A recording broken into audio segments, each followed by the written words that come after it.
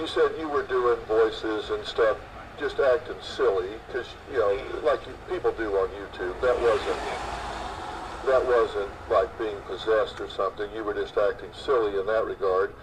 But um, the the content that you were putting up there about not doing steroids and that sort of thing, did you ever do steroids? Never, Never ever did steroids. never, never tried it once. You know, I asked you earlier that there was this theory about Flakka, that you had somehow taken Flakka. Do you know what Flakka is? Is it? Is it a crystal or something? I, I don't know. My dad told me it was a crystal or something. Have you ever taken Flakka? No, You didn't take it the day of the incident. no, Have any of your friends ever taken Flakka? no, Do you know anyone that's ever taken Flakka? no, Have, have you ever have you ever seen the drug itself? no, Is there any chance anybody could have slipped that drug into your food or into something you drank or poisoned you with it, contaminated you with it that day? I drank uh, some tea at Duffy's, so I was told. So I don't, I don't think they would poison me or anybody would poison me. Right. Others drank there too, and they had no reaction, right? Yes, Um, so when this tox screen comes back, they're not going to find those substances in your tox screen, correct? no, no, And um, so there's just, and you've, you've heard of bath salts, right? You mean you've read about that and heard about. Have you ever taken anything like that? no. So Never there's seen it. never seen it. Have any of your friends ever taken it? No, Uh-huh. So there's just no way that has anything, in your opinion, there's just no way that has anything to do with this incident or what took place. no. Yeah. You say when you left the restaurant that night, the night of the incident, Yeah. that when you left there, were you confused?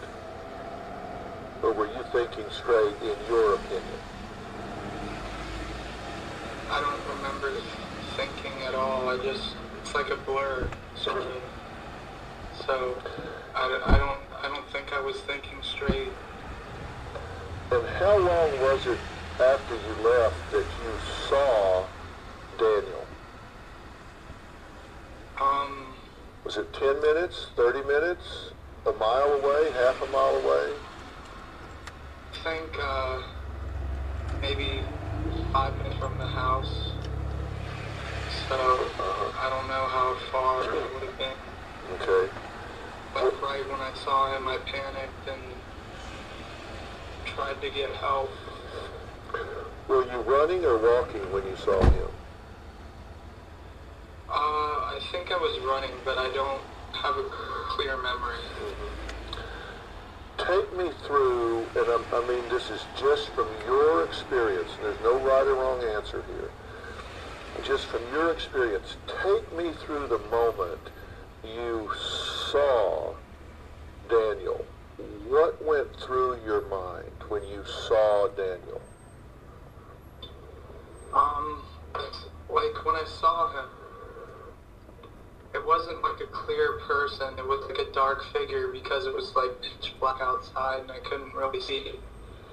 But I heard his voice distinctly, and like when I saw him, I just got scared out of my mind. You- But you, did you know it was him by his, I'm sorry, did you know it was him by his voice or by his, the visual? By his voice, mm-hmm. But you did see it, did you? yes. And what did the voice say that scared you? Said, "Hey Austin." What happened? Uh, see, there we go. He, he Said, just, "Hey Austin,"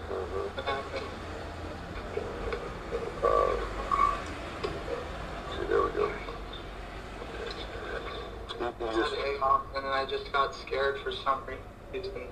uh-huh. it just like I, ju- I guess it just scared me to see him. Like all of a sudden, I don't know. And it, it's what you knew about him from before that scared you. Yeah. Uh, he didn't threaten you that night. It's just him being there. Yeah. And what did you say to yourself? I need to. I guess I need to get. Need to find someone to help me, or like figure out where I'm going. So, Uh, I don't. I don't really remember what I said to myself. I just remember being afraid and being scared. So you, you, you panicked at that point. Yeah. Did you run? Yeah. Uh-huh. And so you ran down that street, and is that when you saw the open garage door? Yes. Do you remember when you took your clothing off? Was it before you saw Daniel or after? I have a like. I didn't remember it at first, but I have a faint memory of taking my pants off at some point before I saw Daniel. But like, I, n- I never realized that my clothes were off later. Like, like it's it's hard to explain, you know. Right. It's, it kind of runs together for you. Yeah. When you ran up into that garage, um, and the woman was there, were you running to her for help? Yeah, I, I, don't think I ran up to her. I think I just, I think I just screamed at, and then it's a blur. But you think it was just your voice, you yelled. No, I didn't, I don't think I yelled. I think I just was, I just showed up and she was shocked that I was, um, I guess almost naked, but I mean, I, I understand that, but I didn't know, I didn't know I was not clothed properly. Right. Um, do you remember the first thing that she said? No. I don't remember what she said. Do you I remember, just remember being yelled at. do you remember what happened next? No, no. I, I don't, I don't, like I have some memory of what happened, but I don't remember how we got in, into the altercation or into the fighting. I don't, I don't remember. Do you remember her husband coming out? Yeah. Uh-huh. And do you remember what he said? No. And you said that you had a machete at that point. Do you remember where you got it? I think somewhere in the garage. I'm, I think in the left, or something. I don't know. Uh-huh. Do you know why you picked it up? No. I think, I don't know. Uh huh. and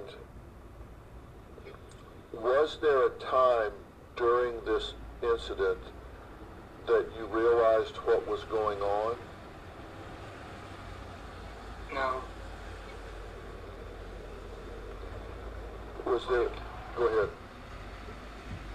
Like, I didn't, like, it's like, it's like it happened, but I, I don't, it's like, it's distorted, like, it's, it happened, but, like, I wasn't aware of it at the time, like, I remember, like, at the end, I remember leaving a dog, hijacking their car, You remember leaving a, seeing a dog and what?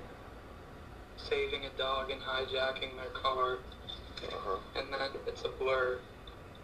Right.